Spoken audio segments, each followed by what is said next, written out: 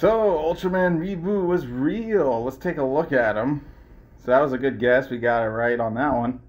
But holy fudge, the fact that he's a spear character is disgusting.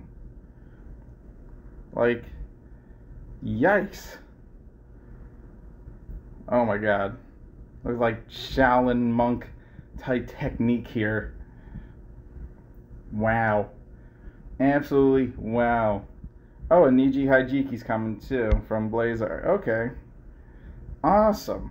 Let's just take a look at it one more time. The fact that this spear does what it does is disgusting.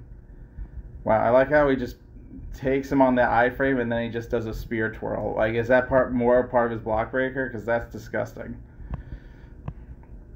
Wow. Just, just wow. Wow. More wowie. Crazy. They did him very well, though. They gave him a very nice, awesome, unique set of moves, especially with the spear. Just, just wild. I can't wait to actually see how this character plays once my game actually comes back on. But peace out.